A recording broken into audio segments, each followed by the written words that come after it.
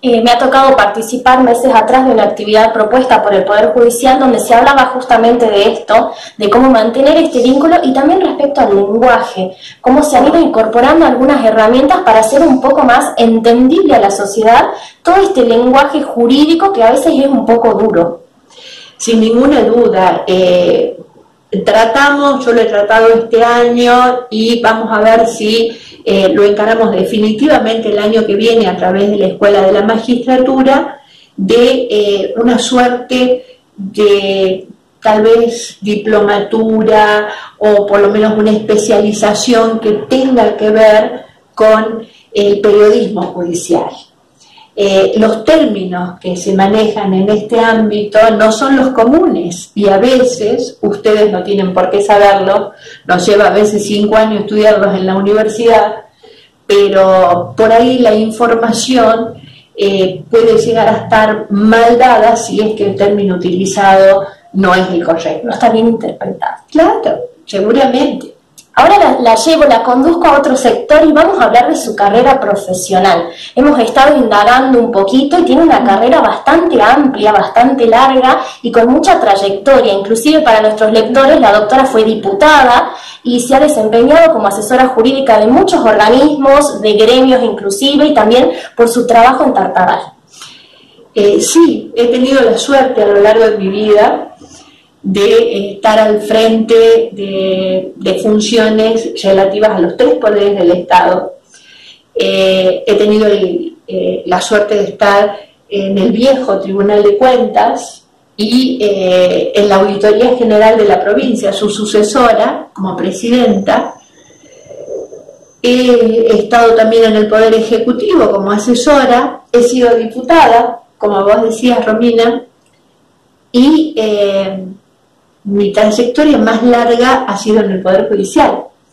Yo me inicio en el Poder Judicial como empleada del Poder Judicial. He estado 20 años como empleada y he vuelto luego como jueza en, Tartagal, hace 10 años, como jueza del Tribunal de Juicio de Tartagal, para retomar ahora en, la Corte. Por supuesto, me imagino es un orgullo para la Universidad eh, Católica de Salta porque usted ha sido egresada de allí. Soy egresada de la Universidad Salta, efectivamente, y, bueno, estamos tratando ahora de trabajar con la universidad múltiples proyectos de capacitación. Eh, sí puedo contarte de que de todas esas tareas, porque además absolutamente disímiles, ¿no? En el Ejecutivo uno, como la palabra lo indica, ejecuta. En el Legislativo se permite presentar proyectos que si tiene suerte se sancionan como ley y la tarea en el Poder Judicial es absolutamente otra, ¿no? Eh, he ejercitado la jurisdicción juzgando en tribunales de juicio y acá tenemos múltiples tareas en la Corte. Pero lo cierto es de que si tuviera que decir qué es lo que más me gusta, es esto, la tarea para la que uno ha estudiado, ¿no? La, la del Poder Judicial. Eh, hablando sobre su experiencia y los distintos, distintos escenarios en los que ha trabajado, ¿qué opinión le puede dar eh, los proyectos que buscan la inamovilidad de los jueces eh, y el tema de ganancias?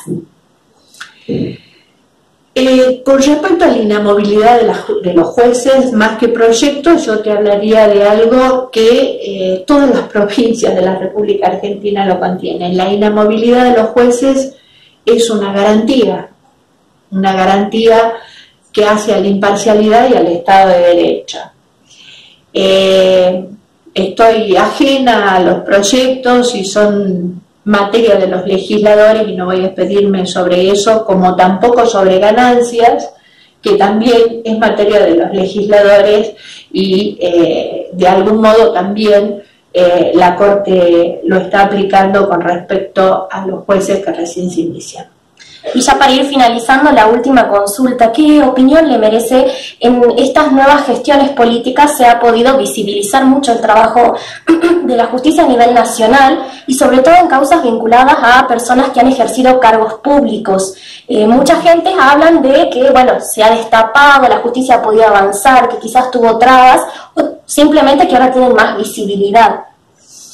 Bueno, son los tiempos, se visibiliza. Eh eh, la corrupción es materia de todos los tiempos y la visibilización de ella es una de las tareas que la justicia tiene como rol, sin lugar a duda, no es la que investiga, sino la que juzga. Y, en eso estamos esperando a ver qué es lo que ocurre.